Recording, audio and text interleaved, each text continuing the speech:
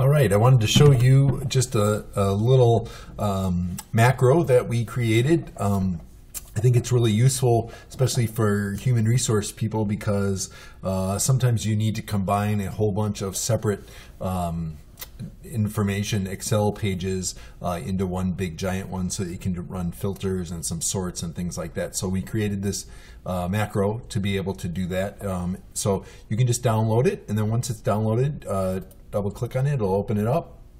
And here's the macro here. Um, all the instructions are right here for you. Um, so it's very simple to use. Um, the first uh, step really is to just um, select your folder. So um, if you click on that, it'll say there's an error. You got to make sure you allow uh, macros. So um, no problem, that's right here and then you can just enable this content. Don't worry, there's no viruses or anything like that. So it's just a simple macro. So, um, so first you click on Get File Names. And this will bring you to uh, wherever your files are stored. So um, you can see here we downloaded payroll information from all these different years. And um, if you um, select a given folder, whichever folder you want, uh, it'll it'll um, it'll list them all here, all the individual individual files that are in that folder. So you can see these are uh, payroll weeks for us uh, one after another after another um, for those um, people. So they're all exactly uh, consistent. And when we copy them all into one big giant Excel spreadsheet, um, it saves us a lot of time, a lot of chance to make mistakes um, because this will do it automatically. So, um, and you could, if you wanted actually to combine all the years, you could first combine each year separately and then put them in one folder and then combine all those years together. And that's what we ended up doing. So we actually have from 2002 all the way to current one big Excel spreadsheet with everybody's information on it. So we can do all sorts of searches and things like that. So we saw when these files got put in here, uh, pop-up said that to select combined files, put a one by each one you want. So uh, this way you can select only the files you want. Uh, in this case, we're going to select them all. Um, so no problem, just select them all.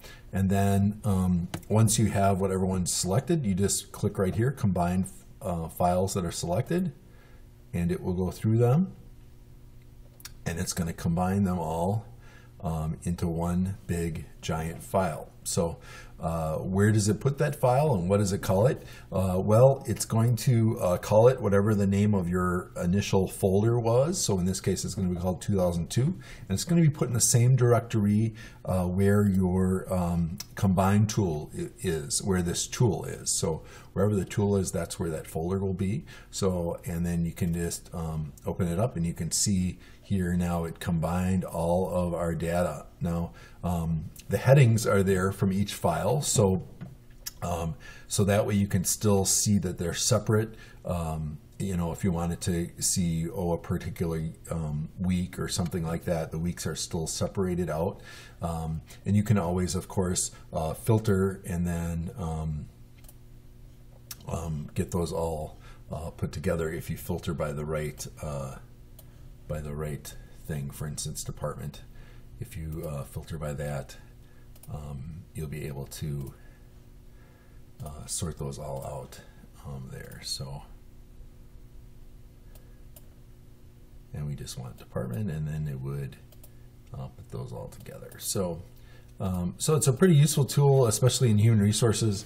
Um, we we do this a lot, and um, so uh, just wanted to uh, show you that and you're welcome to use it. It doesn't cost anything or anything. You can just download it uh, from this video here and then you'll be able to um, um, use it again for yourself. So uh, if you have any questions or anything, uh, just let us know. Um, but uh, otherwise, like I said, here's all your data. Um, it combines it all together. So thank you very much. Take care and good luck. Bye-bye.